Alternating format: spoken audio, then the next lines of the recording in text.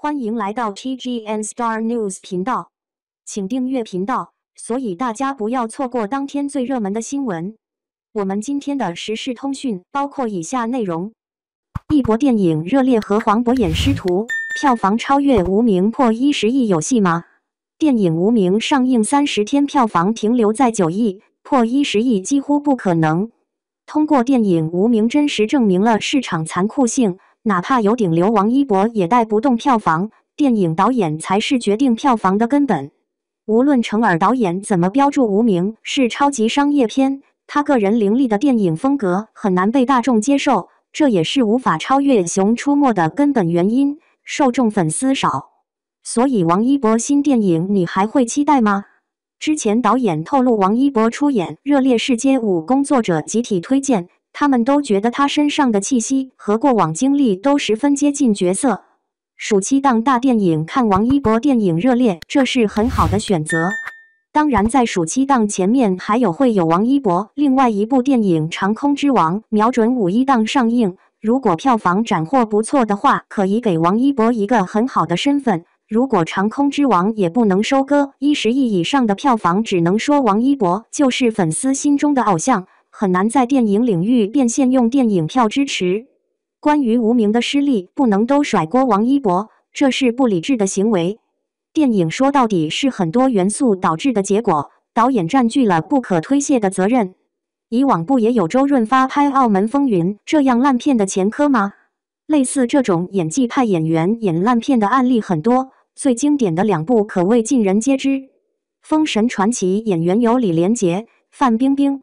黄晓明、杨颖、古天乐、梁家辉、向佐、文章、许晴等，可以说都是鼎鼎大名的演员和明星，都能扛票房，为何最终成了烂片？阿修罗演员有吴磊、梁家辉、刘嘉玲、张艺尚、冯佳怡、董琪、明道、多部杰等，也算是老戏骨保驾护航的电影，可惜上映两天突然撤档，当天导演和演员还在路演。说回无名，除了王一博不是专业演员，还有梁朝伟这个金字招牌，没人敢说梁朝伟不是演技派老戏骨吧？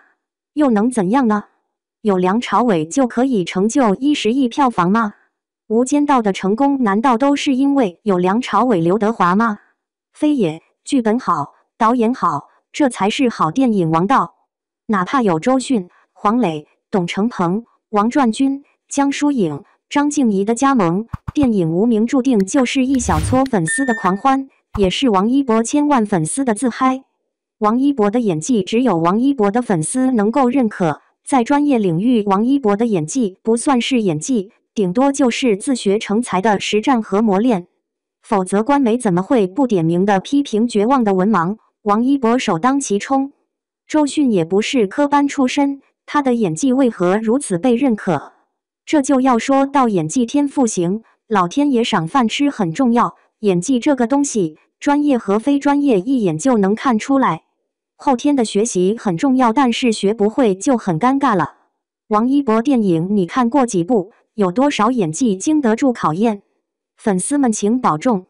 不是谁都可以成为张颂文。张颂文没成名之后，经历了多少现实毒打？正经北京电影学院毕业。虽然是高职班，同班同学还有韩文文、车晓、周一围、林家川、梁志成等。韩文文是朱孝天的妻子，周一围演《绣春刀》的加钱走红，林家川大器晚成，演《狂飙》中的刀哥唐小龙成名。所以张颂文和林家川是同班同学，两个人一路走来真心不容易，演了一辈子戏，终于在《狂飙》中展示了过硬的演技。